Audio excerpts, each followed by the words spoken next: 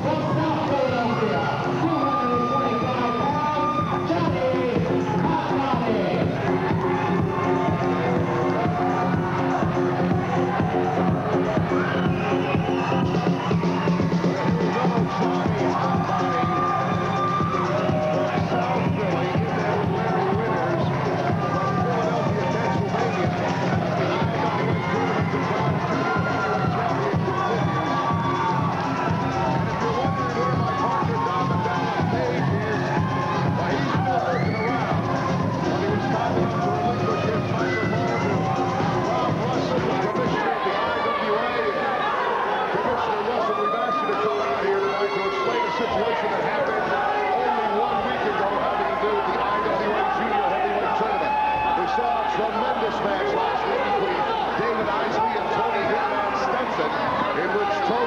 Johnson was awarded the victory, but since then, you and IWA head official South Karendi had a chance to not only review some tapes, but also the positions report before the match.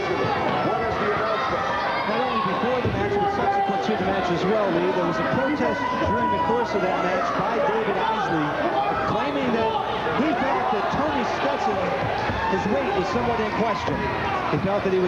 225-pound weight limit for the tournament. Requested a special weigh-in following the match. We got together with the State Athletic Commission and the official scales and found out, in fact, Stetson was one half pound overweight. Therefore, the decision was reversed, and David Isley declared the winner. Now, does that Isley is going to be allowed to advance, but does Tony Stetson, if he, if he cuts weight, will he be allowed back into the tournament? Yes, he's going to get one more opportunity to compete next week on the card. I believe against the winner of this particular match, as a matter of fact. Larry Winters and Johnny Hotbody going at it hot and heavy. That's Winters with a arm bar on Johnny Hotbody.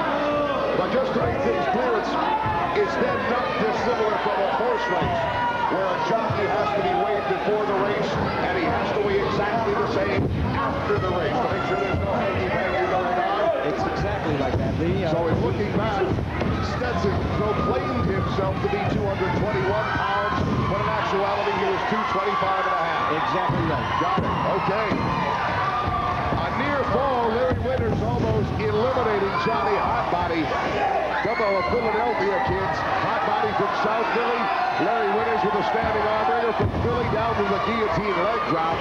And he's going to work on the left arm of the Hotbody. How much brotherly love between these two at the moment? You know, I'm real glad you're here too, Commissioner. Coming up on this show, some that I know fans all over the world are going to be excited to see. In particular, I'm talking about the Junkyard Dog comes to the IWA.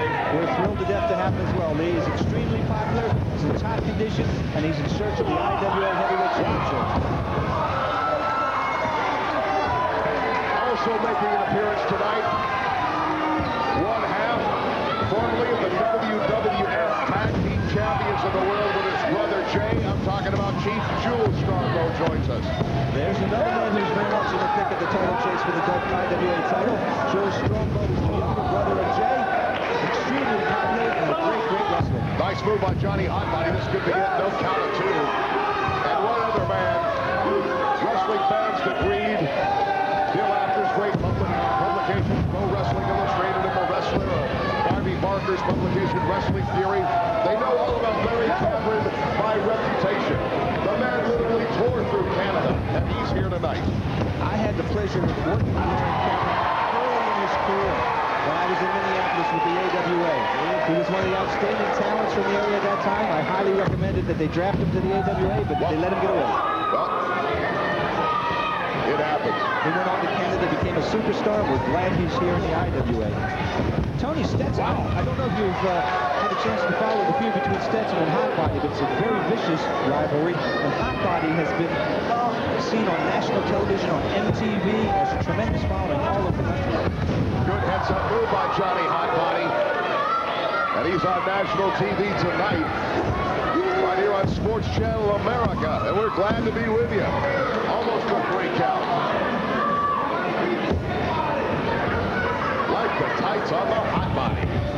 reversal by Winters. Elbow that misses. Hot body coming down. Oh, no, he misses.